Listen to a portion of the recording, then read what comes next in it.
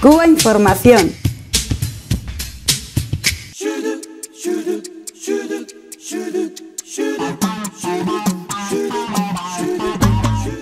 Bueno, sabemos que Cuba está a punto de ser borrada de la lista de países patrocinadores del terrorismo. Eh, el presidente Obama ha notificado al Congreso su decisión de eliminar a Cuba de esta infausta lista y bueno, y sabemos, eh, por lo que hemos escuchado recientemente, que el grupo republicano de la del Congreso pues ha dicho que, no se piensa oponer eh, a esta decisión. Así que voy a pasar la palabra a mis compañeros para ver cómo está el tema. Bueno, hasta Ileana Rosletinen, que es bueno, la, cabeza visible de la ultraderecha y de la mafia de Miami representada en el, Congreso de Estados Unidos, eh, bueno, como, como, unos cuantos eh, legisladores más de esta, bueno, de esta mafia, ¿no? De origen cubano, algunos nacidos en Cuba, otros descendientes de familias vinculadas a la dictadura de Batista, como es ella misma, etcétera. Bueno, hasta ella misma ha dicho que no van a poder deshacer el, proyecto de Obama de retirar a Cuba de esta lista, mm, es que es una lista que, fabrica Estados Unidos, es decir, que es una lista del gobierno de Estados Unidos, pero que contiene eh, sanciones adicionales a las del bloqueo a Cuba pues, eh, para, la isla. Eh, de hecho, bueno, en todas las transacciones internacionales financieras las complica muchísimo y ahuyenta aún más que las otras leyes propiamente del bloqueo, pues inversiones, transferencias de dinero a Cuba, etcétera, etcétera.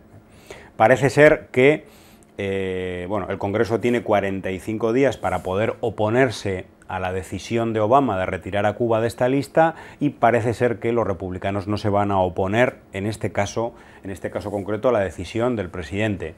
Bueno, pues bienvenido esta no, bienvenida a esta no oposición porque sin duda va a allanar el camino al diálogo entre Cuba y Estados Unidos y a que, a, Cuba le desaparezcan algunas de estas, de estas sanciones. Como hemos venido diciendo, eh, Obama tiene grandes prerrogativas para ir eliminando el bloqueo. No el bloqueo en su totalidad, que ya decimos que lo tiene que eliminar el Congreso, a partir del año 1996 en que se aprueba la ley Helms-Barton, es el Congreso de Estados Unidos el que tiene que a través de una nueva ley, eliminar el bloqueo, que ha sido convertida en ley precisamente por la ley Helms-Barton en 1996. Antes no, hasta ese año Obama lo podría haber, eh, o sea, un, presidente de Estados Unidos podría haber eh, firmado el fin del, bloqueo a Cuba. Eh, pero es cierto que aunque sea el Congreso el que tenga que eliminar el bloqueo a Cuba, es cierto que Obama puede ir eliminando el bloqueo en partes fundamentales y esenciales, como por ejemplo facilitar a un determinado sector económico la inversión en Cuba, la venta de productos, la compra de productos cubanos, etcétera, etcétera. Es decir, puede vaciar de contenido el bloqueo, no sé si en un 90%, pero sí en una parte importante. Y eh, bueno, hay otros eh, movimientos ¿no? telúricos en, los, en las últimas semanas, una gran delegación de empresarios de Texas, ¿no? Eh, que ahora mismo está en Cuba, tratando de invertir, de sacar cabeza en esta carrera por acercarse a, Cuba y, bueno, ser uno de los sectores, mm, digamos, privilegiados en cuanto a la inversión o los negocios eh, con Cuba. En este caso, exportadores eh, agrícolas. Mm, también llevaban al Senado de Estados Unidos una discusión para que se levanten eh, la prohibición de la exportación de productos agrícolas a Cuba. Eh, oíamos también, en este caso no relacionado con Estados Unidos, pero bueno, eh, vinculado a todo este movimiento empresarial, que 30 grandes empresas de Reino Unido se reunían en un gran foro empresarial en Cuba como posibles inversores. Es decir, bueno, pues seguimos con estos movimientos de los que pues al final Cuba tiene la última palabra, ¿no? que es eh, finalmente la que aprueba sus leyes soberanas y finalmente mm, quien va a, llegar a los acuerdos correspondientes según la estrategia de desarrollo del país. Por cierto, la CEPAL, ese organismo de Naciones Unidas para América Latina, para la economía de América Latina, felicitaba a Cuba en esta última semana precisamente por su política de inversión extranjera, ¿no? que no es una política ciega, no es una política de inversión eh, extranjera absolutamente abierta, sino vinculada a, los, eh, a una estrategia de desarrollo económico del país y a sectores muy determinados. Siempre cuando se menciona la, ley Hamilton me viene la imagen ¿no? de de Clinton en 96 firmando eh, esa ley que era cuando buscaba su reelección, ¿no? En la, eh, ¿cómo se llama? Y fue a, la Florida buscando el voto de los cubanos. Y entonces la imagen que daba era que Cuba, además eh, sabemos que aprovechó, ¿no? Con el derrumbe de, de la avioneta que, donde murieron los que iban a invadir el, el espacio aéreo cubano. Y entonces aprovechó eso y, es como si estuvieran diciendo que Cuba eh, eh, había agredido a, Estados Unidos o no sé qué. Y entonces la imagen que daban era que, bueno, Cuba es peligroso ¿no? para, para Estados Unidos. Y entonces aprovechó y firmó esa ley. Y entonces esa imagen entró también en la, en la conciencia ¿no? de la gente, pero y parece que por eso la, gente están diciendo en ese artículo que nos están sacando de la, de la lista ¿no? de, los, de los países terroristas, porque la propia población ahora, eh, sobre todo en la Florida, que reconoce que Cuba no, es ninguna, no representa ninguna amenaza para Estados Unidos. Y entonces, ¿con qué se van a agarrar ahora? ¿Qué, pretexto van a buscar para que eh, eso siga así? Si ellos mismos han tenido esa decisión de querer eh, conversar, eh, dialogar con Cuba, no puede decir, mira, vamos a abrir las, tener relaciones diplomáticas, o si no, vamos a venderle cosas. Sin embargo, si tú me vendes, ¿con qué voy a pagar? porque si no sale de esa lista, está lo castigo que ellos dicen económico que, que, no deja a Cuba, eh, ¿cómo se llama?, relacionarse normalmente con Estados Unidos.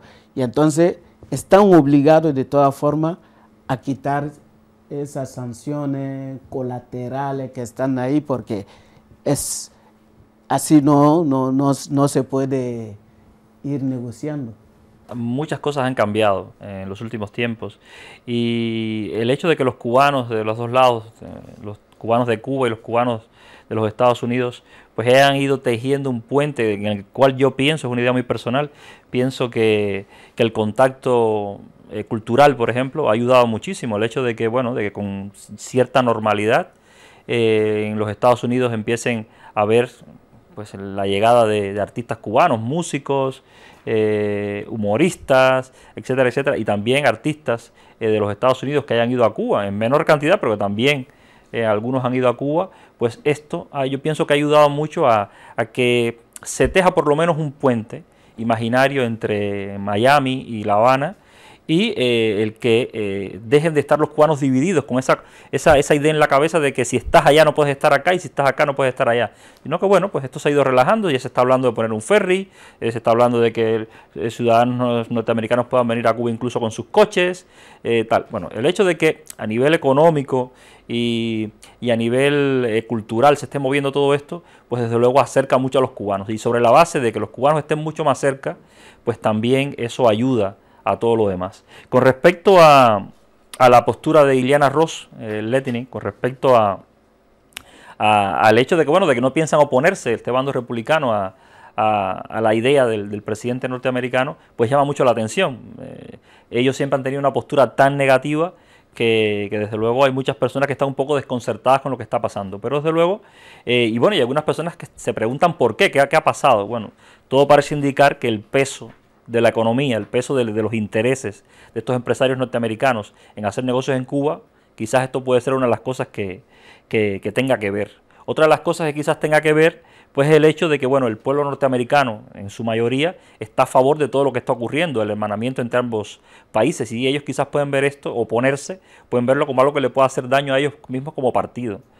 Eh, y bueno, pues eh, también podría ser que, bueno, que de alguna manera se den cuenta que capitalizar a Cuba pues es una manera de, al final salirse con la suya, ¿no? un poco entrar a este juego, ¿no? a este doble juego en, el que por una parte mandamos nuestros capitales, que pueden hacer la función eh, mejor que los cañones. ¿no? Yo creo que detrás de todo este cambio, que es un cambio desde Estados Unidos a Cuba, no de Cuba a Estados Unidos, porque Cuba siempre ha estado dispuesta, o al menos en los últimos años ha estado dispuesta al desafío del contacto con Estados Unidos.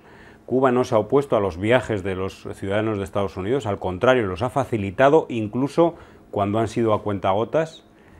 Yo creo que detrás de todo este movimiento de Estados Unidos está el dinero, está la posibilidad de hacer negocio. E indudablemente los movimientos internos en cuanto a las leyes, los lineamientos eh, aprobados por el Partido Comunista en el año 2011, los cambios económicos en Cuba, la apertura a un cierto sector eh, privado y la ley de inversión extranjera, han abierto un camino y que, podríamos decir que es una, casi una especie de imán, ¿no? si, si, había un cierto, una cierta necesidad y un cierto interés por parte de algunos lobbies empresariales de Estados Unidos, estas leyes y estos cambios han actuado como un imán que ha acercado a una velocidad vertiginosa a toda esta gente, ¿no? Y con ellos ha venido el propio gobierno de Estados Unidos que está viendo que en las encuestas, que en las presiones de los sectores empresariales, que sectores del Congreso y del Senado, incluso del bando republicano, están diciendo que, señores, esto ha sido un fracaso y vamos a cambiar de, estrategia. Algunos con la intención de, de, tumbar a la revolución, otros sencillamente eh, siguiendo el, olfato empresarial. Y yo creo que detrás de todo esto, para bien o para mal, eh, indudablemente está el interés económico. Incluso cuando eh, Bush hijo estaba en poder, en, en los años 2002-2003, agricultores, como se llama, americanos, querían vender a Cuba diciendo, sobre todo por el arroz, que Cuba tenía que ir a comprar hasta Vietnam y buscar, eh, eh, pagar mucho más y buscar transporte para llevarla ahí. Y, decía uno de los agricultores, si nosotros lo tenemos aquí cerquita, tenemos arroz y no tenemos a quién vender, y Cuba está aquí cerquita, ¿por qué Cuba tiene que ir hasta Vietnam para comprar arroz? Entonces, son negocios. Está el peso del negocio también en ese caso.